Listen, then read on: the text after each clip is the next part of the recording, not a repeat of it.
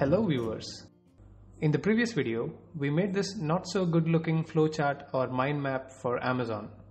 While this should do the job for most of you starting to make your own website, it wouldn't be great if I continue teaching with this. So I recreated the same diagram digitally in order to make it look better.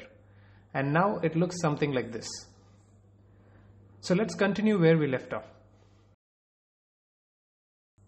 We've been talking about the four IA system components for quite some time now, but how are they useful? The information we collected so far isn't useless, but it is still in a very crude form, meaning it will be ineffective if we present it as such. During large portions of my teaching career, I used to compare web design and development with the process of extracting gold from its ore.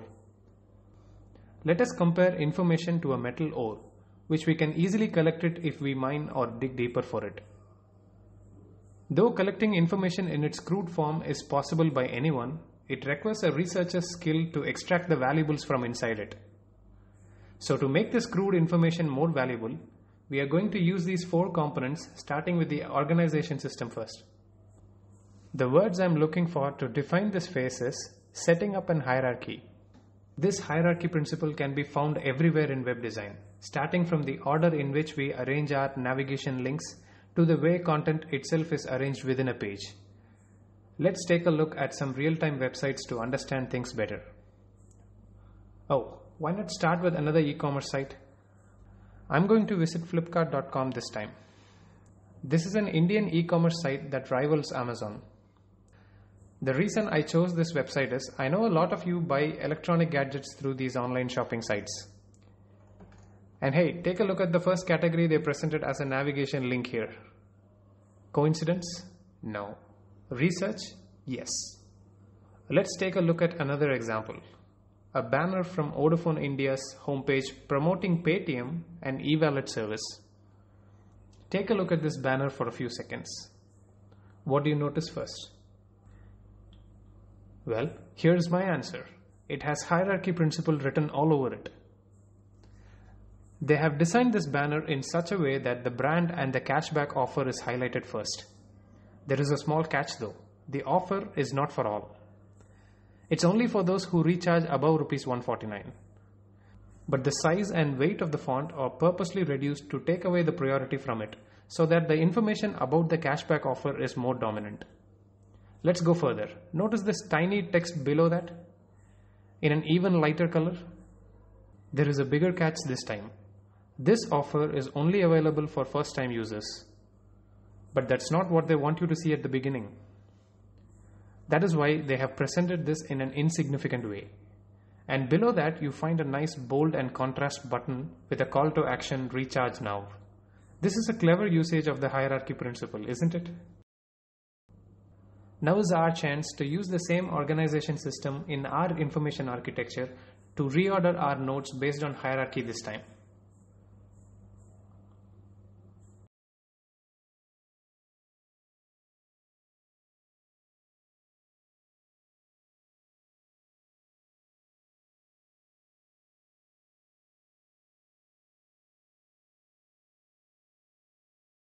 Moving on, the next component is the labeling system. To label is to give something a name. To make you practically understand this concept, let us consider this video which contains 1500 words in its script. But if I had to describe it only using three words, I would say information architecture components. In a similar way, each navigation link's title, each heading that is going to appear in the content, and each caption that is going to appear along with images or tables has to be labeled. Keep in mind that the labels you choose should be very simple to understand and follow.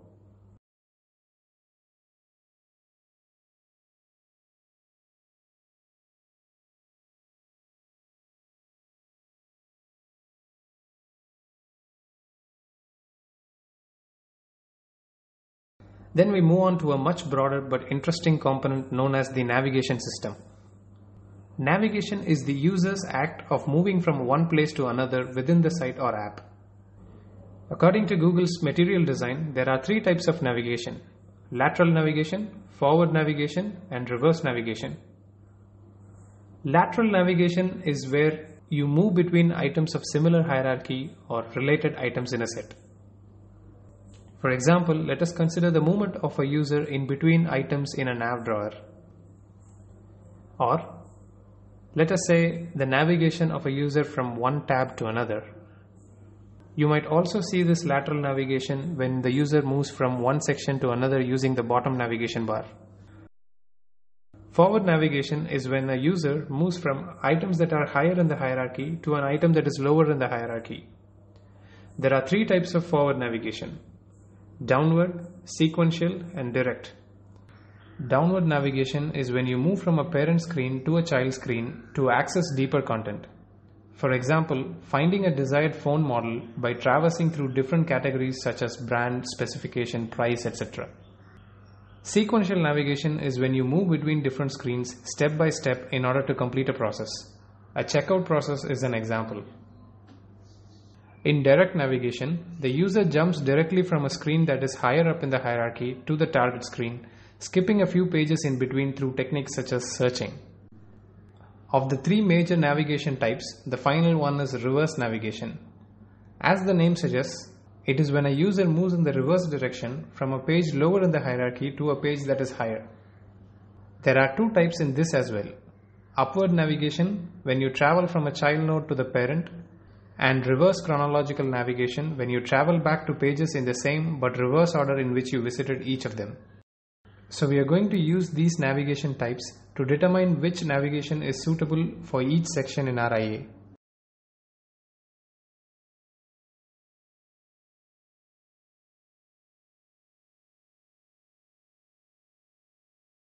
Finally, we have the search system that tells our IA what type of search should be implemented in our site or app to prevent users from getting lost inside the sea of pages that we are going to develop.